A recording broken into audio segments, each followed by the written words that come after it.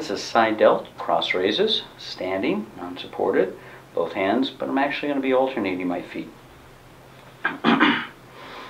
so, still engage the elbows. Still like this thing, same three variations on the moves, knuckles, thumbs, and palms.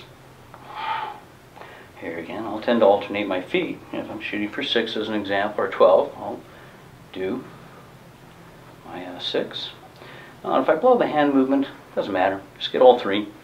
Change it up a little bit, that's perfectly fine.